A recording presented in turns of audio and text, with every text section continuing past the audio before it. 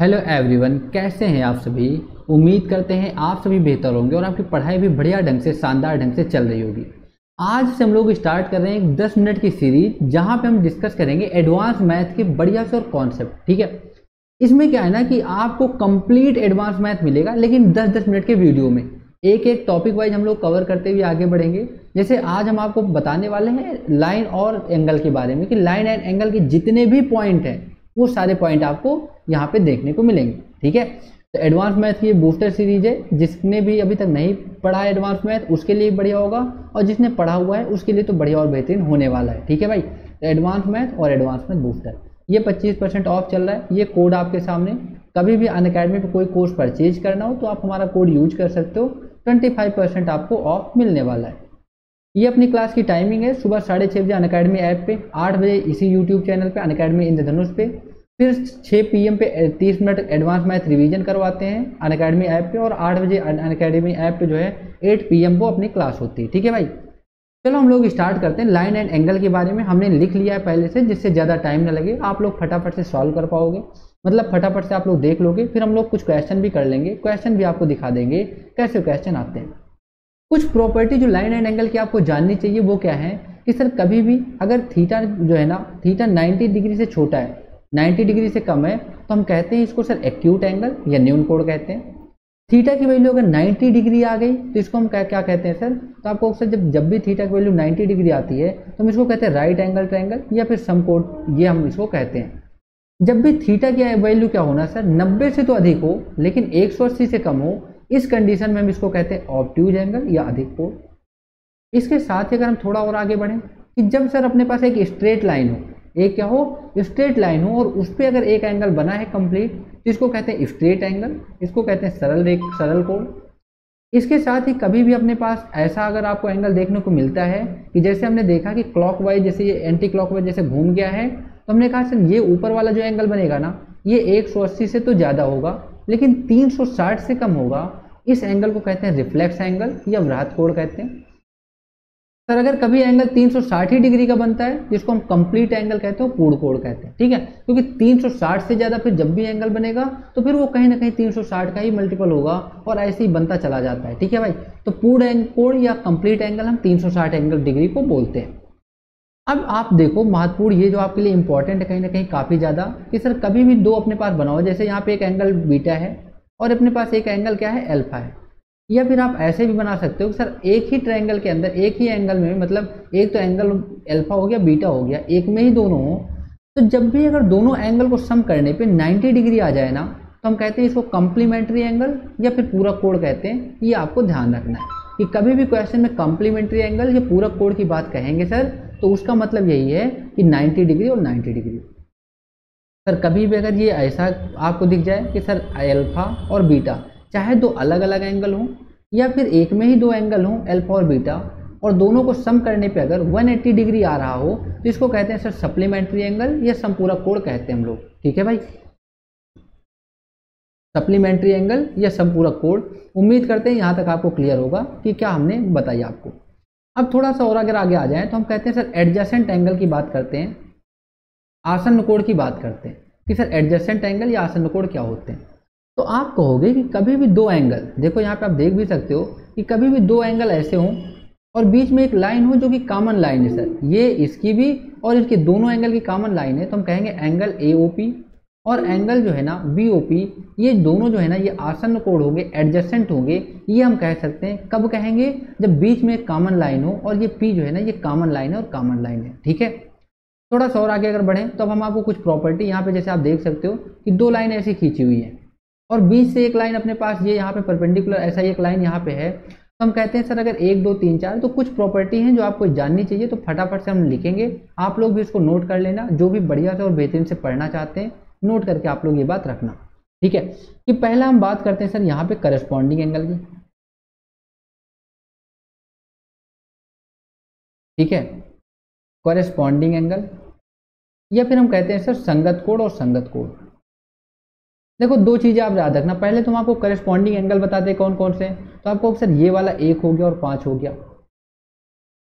आपको sir angle one and angle five दूसरा sir angle two and कितना angle six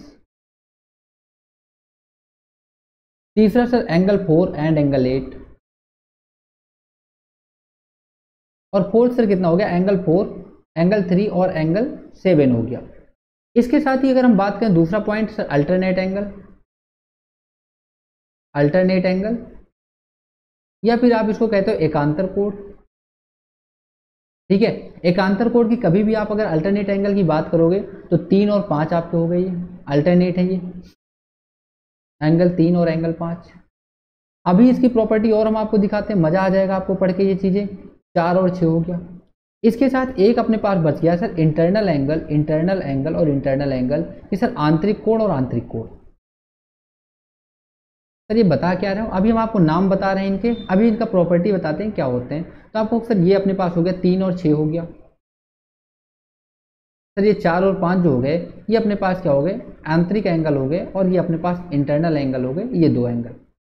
और आगे बढ़े, सर तो अगर हम एक लाइन बना देते हैं, यहाँ पे आप अगर ध्यान दो, सर, हमने एक लाइन खींच दी ऐसी सीधी सीधी, एक और लाइन खींच दी, दो लाइन खींचा, दोनों क्या है ना, पैरेलल लाइन है। ये दोनों लाइन क्या है, पैरेलल है, और इस पर एक लाइन हमने खींच दी, one, two, three, four, five, six, seven, eight लिख दिया। तो हमने कहा, चलो, सर, अब इसकी प्रॉपर्टी देखते हैं और इसकी प्रॉपर्टी यहाँ पे हम लोग देखने की कोशिश करते हैं। तो जब भी ऐसा क्वेश्चन आएगा ना तो पहला हमने आपको जो बताया था कि सर करेस्पॉन्डिंग एंगल और करेस्पॉन्डिंग एंगल अब देखो भाई फिर से। करेस्पॉन्डिंग एंगल या फिर अगर हम बात करें सर संगत कोण की और संगत कोण की। तो ये जो है ना, ये बराबर होते हैं सर जैसे हमने कहा कि सर एंगल वन है, ये एंगल पाँच के बराबर होगा। दोनों का मान समान होगा।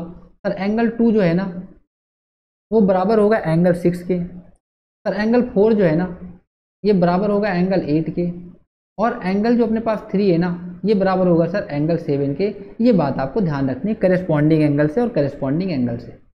दूसरा पॉइंट क्या है ना सर कि अगर यहाँ पे हम अल्टरनेट एंगल की बात करें अल्टरनेट एंगल की बात करें या फिर एकांतर कोण की बात करें, एकांतर कोण की अगर बात करें तो ये क्या होता है ना, जैसे अल्टरनेट कौन से हो गए तो आपको सर तीन और पाँच हो गए। तीन और बराबर पाँच हो गया। चार और बराबर किसके हो गया? छः हो गया। तो ये भाई बराबर होते हैं और बराबर होते हैं।